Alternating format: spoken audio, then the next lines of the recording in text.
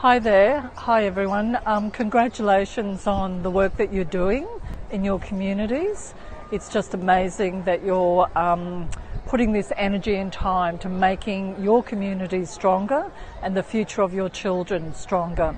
What I want to say to you is that this work is really, really complex and um, not everyone is doing it, but you're brave enough to take this on.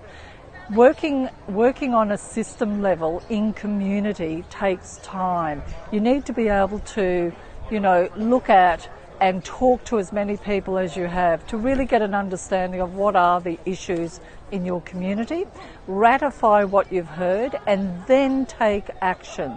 The action is about engaging community, and that is all community, to build initiatives, identify ways of resolving those issues. It doesn't matter how big or small it is. This work is so important, so jump in, give it a go, learn, learn, learn, refine, and evaluate.